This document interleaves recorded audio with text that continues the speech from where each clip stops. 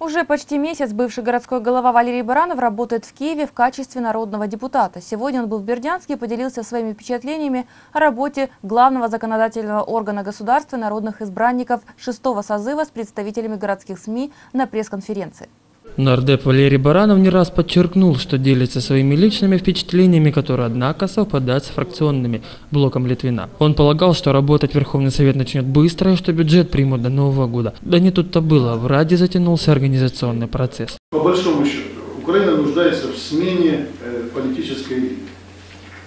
Те люди, которые сегодня э, стоят на верхушке политической элиты, они э, очень заняты решением личных, политических, корпоративных и других интересов, которые э, очень оторваны от реальных потребностей людей. И, э, понимаете, вот этот процесс распределения должностей, кресел и всего остального, он должен происходить, с моей точки зрения, для чего?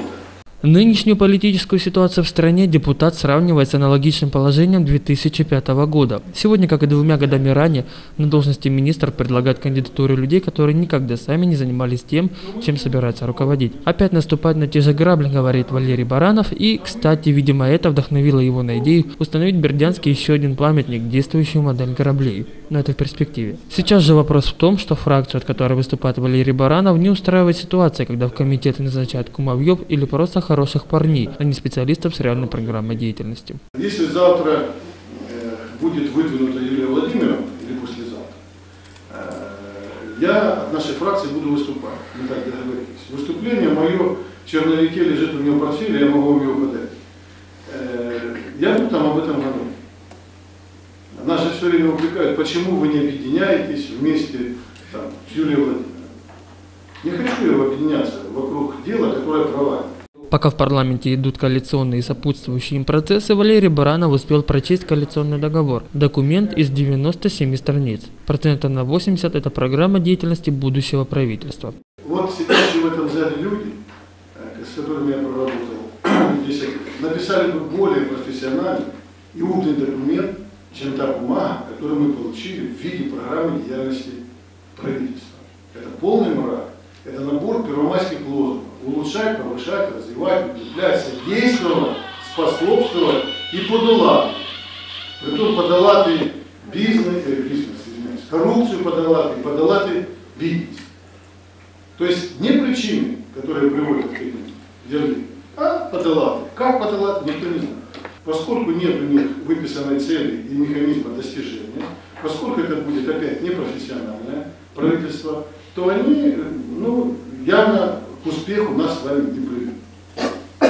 Поскольку э, вот такая кампания сегодня э, в Верховном Совете и правительство формируется по таким принципам, то присоединяться к этой группе непрофессиональных товарищей было бы абсурдно. Потому что поддержав их или присоединившись к ним, мы бы разделили с ними ответственность за тот провал, который их ожидает. По мнению нашего народного депутата, большинство собравшихся под куполом на Грушевского о работе не думает, а тех, которые уже сегодня ходят с законопроектами, единицы. И по наблюдениям Валерия Баранова, это люди, пришедшие из реальной жизни, бывшие мэры и другие специалисты практики. Впрочем, идеальных правительств не бывает, равно как и людей, а беда Украины, по мнению Валерия Баранова, в отсутствии лидера, способного объединить силы во благо созидания. А внутренней парламентской кухне, как спикера искали, как кнопки нажимали, и как столичный журналист это в новостях подавали. Говорилось на пресс-конференции многое с юмором. Ну а жизнь в Украине, вопреки, а не благодаря событиям в Верховной Раде, держится на органах местного самоуправления. Вот здесь мы с вами пытаемся все ошибки, все их промахи, всю их недееспособность реализовывать сами, не имея для этого ресурсов. И огромное спасибо тем людям, которые работают на местах, и вам в том числе. Потому что там наши с вами проблемы не волнуют никого. Наш бывший мэр записался в комитет жилищного хозяйства, не модный нынче Верховной Раде, однако сделал это сознательно. Сейчас же работает над продвижением декларации о самоуправлении. Есть некоторые договоренности относительно Бердянска, а именно о выделении городу субвенций на ряд объектов, завершение газификации косы, канализационной станции номер 7 и так далее.